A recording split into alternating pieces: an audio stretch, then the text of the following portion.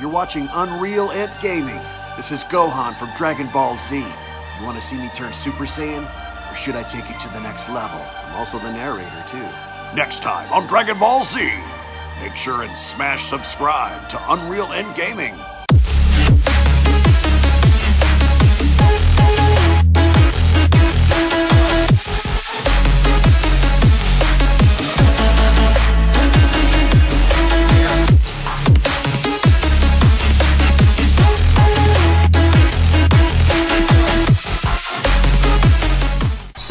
Earliest concept ideas for Super Saiyan 5 stems all the way back to the late 90s and early 2000s with the introduction of a post-Dragon Ball GT fan manga titled Dragon Ball AF, and through its lore having to spread throughout the internet community and into the Dragon Ball fandom, Super Saiyan 5 had often been regarded as a transformation that many fans within the fanfiction community deem as one of the absolute best things to happen within the fan-created community. However, what if I told you that there was a concept introduced that took the powers of Super Saiyan 5 and further transcended that beyond its current standard. As this is the story of the birth of Super Saiyan 6, as we dive into a battle so intense that one must beg the question, would such a concept idea be plausible within Dragon Ball, or would this be a concept idea that's far beyond one's ability to reach? As once more before we begin, if you are new to this channel and have a love and passion for all things Dragon Ball and anime related, then be sure to smash that subscribe button on this channel and turn on all notifications to never miss a single upload, along with giving this video a big thumbs up by slapping that like button down below if you guys love Dragon Ball and anime, as well as checking out the official Dragon Ball fan mangas playlist located down in the description box below,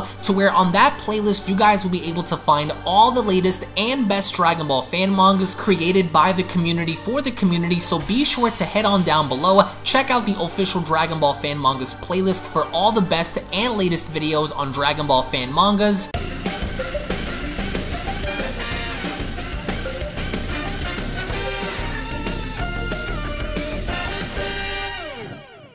As we kick off the Beyond Dragon Ball AF Legend of the Sixth Power manga chapter special as the narration opens up by letting us know three years after the arrival of Xicor on Earth, and the landscape is seemingly enough destroyed with craters all over the place, chunks of mountains having to be torn apart, there's thunder and lightning all over the place as the end result of all of this going down is due to the battle between Super Saiyan 5 Goku and Super Saiyan 5 Vegeta, as the two are shown going back and forth, Vegeta is shown having to punch Goku in the face by telling him, this isn't going to end how you think it's going to end, Kakarot. With Goku then having to retaliate by further punching Vegeta in the face, he only then replies, then tell me how it's going to end, Vegeta. We're completely equal. With Vegeta then stumbling back, he only then responds, we couldn't be any more different, clown. Our forms may be the same, but our skills and power is not. Don't gas yourself up because you aren't going to surpass me again. As Goku went along to respond, after Xicor, we've become incredibly powerful Vegeta, but you always seem to make the same mistake. We agreed to fight only because we wanted to see where we stood compared to one another. You've pushed yourself to extreme lengths in order to evolve and I respect you for that, but your greatest weakness has always been your ego. How do you expect to beat me when we're at a standstill? You are the most impressive Saiyan in history, but as good as you are, Vegeta, I'm that much better. And it's not by luck either. I push myself just as hard as you do, sometimes even harder, and this won't end until one of us gives up. So the main reason why Goku and Vegeta are fighting is because both of them came to an understanding and an agreement to fight each other to see which Super Saiyan 5 between the two is in fact superior, and it's due to the fact that so far only Goku and Vegeta were able to push themselves this far in achieving such power, Vegeta went along to shout, I'll die before I ever give up to you, Kakarot. You think I didn't train for this day? You think I didn't train to overpower you? Because I did. So unless you are the one who plans to give up, then we will fight to the death, and I am willing to die to prove my point. As he only then continues to shout, we are the strongest in the multiverse at this point, but there can only be one. So what's it going to be? And with Goku smirking, he then went along to reply, only one, huh? You amaze me, Vegeta. Thank you for always being my friend and for always being my rival. But if that's how it's going to be with Goku shown putting his fingers on his forehead, he only then continues, then let's continue, as he quickly then uses instant transmission in getting behind Vegeta. Vegeta only then comments, not this again, as he quickly blocks off Goku's attack. He quickly then comments, damn you Kakarot, that won't work on me anymore. So instant transmission seems to be something that Vegeta is really used to in this fight because he seems to have gauged a better understanding as to where Goku was going to reappear every single time he used it, and as the two end up going back and forth, it only further goes to show how barbaric this battle is because with Vegeta punching Goku, Goku punching Vegeta, Vegeta retaliating, Goku countering, Goku eventually ends up getting the upper hand by knocking Vegeta away, and the second he does so, Goku follows by unleashing massive amounts of energy blasts directly at Vegeta. As he went along to then tell him, you won't outlast me, Vegeta. I trained years to master Super Saiyan 5, but then Vegeta is shown dashing through the smoke as he seems to be unfazed by Goku's attacks as he then went along to tell him, So have I, Kakarot. You're not the only one. As he then quickly tries to punch Goku, he misses because Goku ducks under and then gives Vegeta a thunderous punch to the gut, but even then it doesn't stop there because after tanking Goku's attack, Vegeta ends up flipping Goku around and getting behind him and telling him, You're too soft, Kakarot, as he then wraps his arms around Goku's throat in literally choking him on the spot. He only then tells him, I told you how this was going to end. You won't be the one writing this story, this is simply the end of your chapter as Vegeta then begins to squeeze more and more in wanting to literally choke Goku out. He then continues, Do you see now, Kakarot? I'll squeeze the life out of you before I ever let you trump me. What you also fail to understand is that this isn't my limit either. There is more to Super Saiyan 5 than you know, and I'm going to show you what it is. As Goku is then shown not just getting choked out by Vegeta to the point where he's beginning to break out in a sweat, but to the point where Goku looks like at any given moment moment he's just about to pass out, as he only then replies, There goes your ego talking, Vegeta. I won't let you beat me, no matter what. I still have a lot more to show you as well. With Goku then cocking his arm, he only then proceeds to elbow Vegeta multiple times in the stomach with Vegeta choking him. As Goku eventually ends up breaking Vegeta's guard, he only then tells him, you are going to have to hit me with everything you got and then some in order to walk away from this in one piece. But even then, Vegeta still isn't letting up because he quickly gets in front of Goku and grabs him by the throat and telling him, then I'll choke you to death, clown. With Vegeta not stopping, he only then grabs Goku by the throat and slams him directly down on the ground. Goku is shown in agony as he comments, damn it, let go of me, Vegeta. Solar Flare! And with Goku using the Solar Flare right in front of Vegeta's face, Vegeta is blinded because he is then forced to let go in shielding his eyes as he only then shouts, Damn you!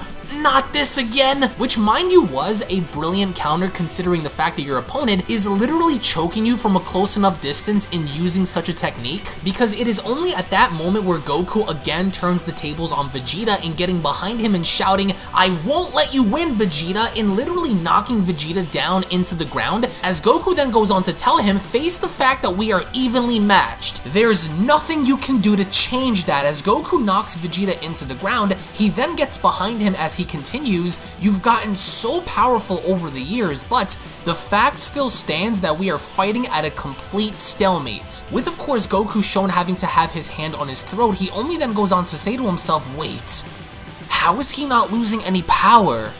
something's wrong, and as Vegeta is shown slowly getting back up, he only then went along to tell Goku, you never cease to amaze me, Kakarot, but for the first time in your life, you seem comfortable with where you're at, and with Goku questioning this, he only then asks, comfortable? What are you talking about, Vegeta?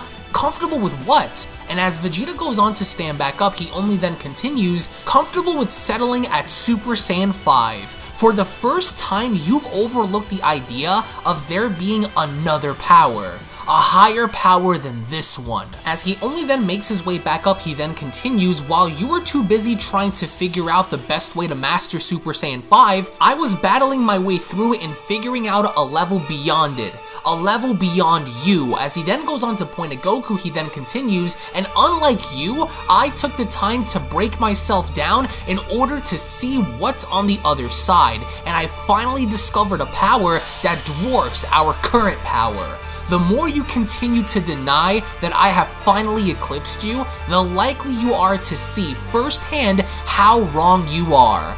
I am going to show you a power capable of multiversal strength, a nearly limitless form that will never be achieved again, and with Vegeta dashing towards Goku, he then went along to remind Goku and telling him, allow me to show you a power beyond your understanding. And Goku is taken back because he then goes on to say to himself, how did he increase his speed this much out of nowhere? With Vegeta then quickly capitalizing in delivering a bone-rattling shot to Goku's stomach, he then went along to comment, do you feel it Kakarot? Now tell me I was bluffing and as Goku hits the floor, Vegeta proceeds to put his foot on top of Goku's back, keeping him down on the ground on all fours, as he then comments there is still so much for you to catch up with.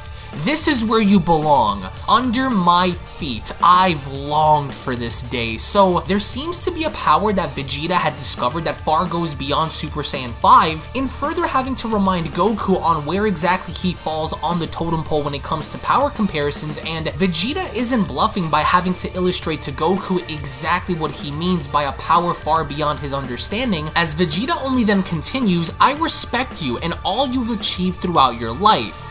Don't mistake in that, Kakarot, but I never forgot my place in this world, especially when it came to falling behind you.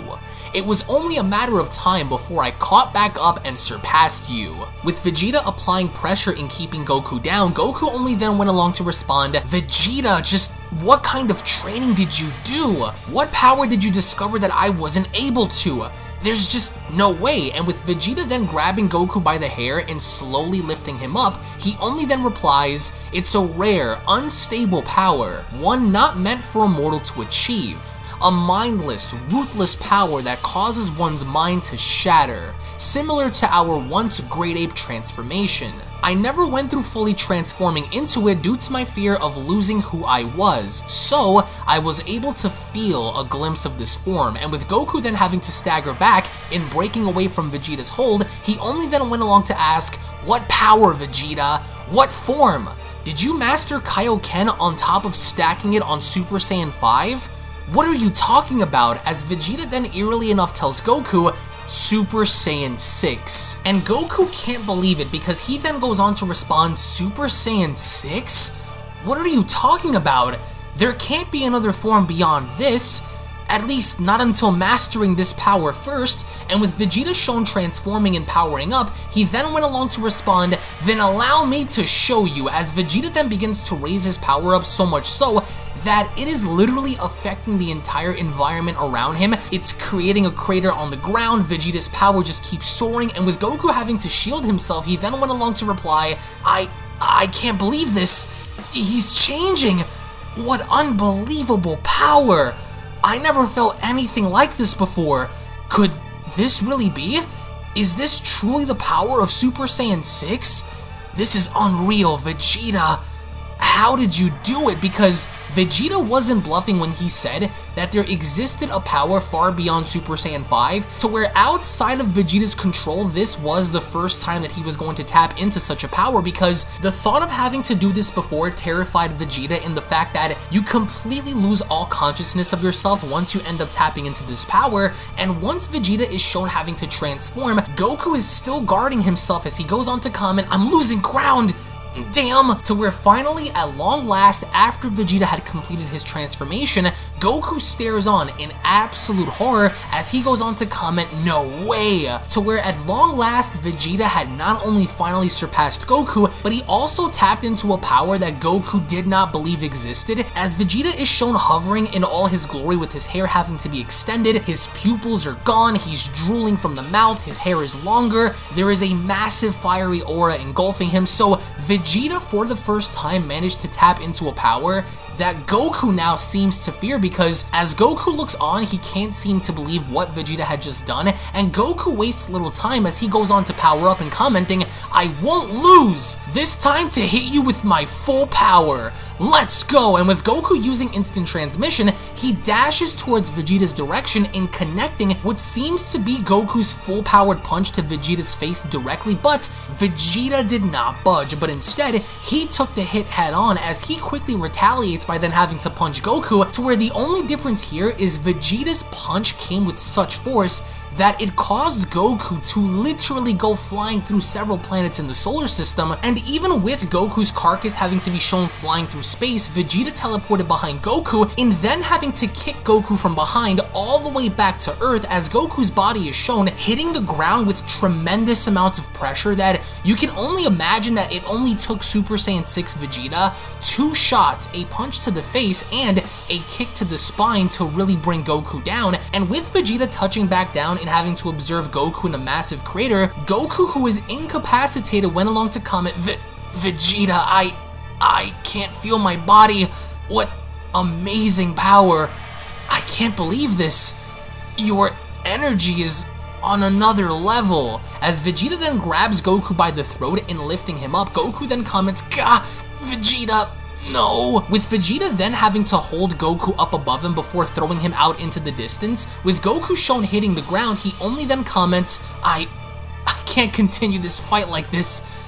You win, Vegeta. And with Vegeta shown looking down, his final words to Goku are Cat Kakarot as the manga chapter special then comes to a close. Now, the one thing I really enjoyed about creating this fan manga for you guys is the fact that we don't really get too much of Super Saiyan 5 action. As a matter of fact, there is an abundance of content that features Super Saiyan Blue, Super Saiyan 4, Dragon Ball Z, Dragon Ball GT, Dragon Ball Super, but never really enough of some of the Dragon Ball AF content outside of Young Jijii and Toyble, so I figured I'd create a story to where Goku and Vegeta fought equally as Super Saiyan 5s, because we never really had any kind of showcase like that, and I want to get your thoughts in the comment section below. As a hypothetical scenario if Super Saiyan 5 Goku battled against a hypothetical Super Saiyan 5 Vegeta, both at full power considering everything you've seen and perhaps have learned from Dragon Ball AF, then between the two, I want to know who you guys believe would emerge the victor in this story because I wanted to introduce a brand new level given the meme that's always been running within the Dragon Ball community about there being Super Saiyan 6, Super Saiyan 7, 8, 9, and 10, Super Saiyan 100, and I figured why not take this a step beyond that and introduce a momentary transformation one that far supersedes even that of Super Saiyan 5. So I want to get your thoughts in the comment section below about Goku giving up because he simply can't defeat the power that is of Super Saiyan 6 Vegeta. And if you guys have any other comments or concepts that you would like to see, then drop them in the comment section below. Thank you all so much for watching, guys, once more. If, of course, you guys are new to this channel, then I do encourage you guys to smash that subscribe button and turn on all notifications to never miss a single upload. Hit this video up with a big thumbs up by slapping that like button down below, and be sure to check out some of the previous Dragon Ball fan mangas. That playlist will be located down in the description box below. Thank you all so much for your time. Also, if you guys are not already subscribed to my vlogging channel, I've started a podcast on there. We've been doing some really cool vlogs as that channel goes by Unreal Vlogs, so you guys can find that link also located down below, so be sure to subscribe over on there as well. Thank you all so much for your time. I hope you guys have a fantastic day, and I'll be seeing you all down in the comment section below. Have a great day, everybody. Peace. And a quick little reminder before you guys go, if you guys are unaware, I do have a second gaming channel located down in the description box below, so be sure to head on over to Unreal Royale and hit that subscribe button along with turning on all notifications. As to there, you guys will find all different kinds of gaming content that you will not get to find on Unreal Ent Gaming, titles and video games such as Grand Theft Auto, Call of Duty, Gears of War, Dragon Ball Z Dokkan Battle, Dragon Ball Z Legends, Dragon Ball Z Budokai Tenkaichi 3, Minecraft, Blair Witch, and many other retro games on that channel. So if you guys are into gaming, then make sure you guys subscribe over on Unreal Royale. I want to thank you all so much for your time, and I'll catch you all in the next one. This is the Galactic Emperor of the Universe, and of course I'm here to tell you to subscribe to Unreal Ent Gaming. Also follow Unreal Ent Gaming on these social media platforms to stay connected at all times. And if you don't, then very soon you will all be dead. oh, did someone say Unreal Ent Gaming? Oh my god. The fuck's up on? Put on some clothes! Well, why don't you put on any clothes? What? I don't need clothes. but- uh, Jesus Christ, that's huge! what, Broly? Frieza. Uh-oh. Prepare to die!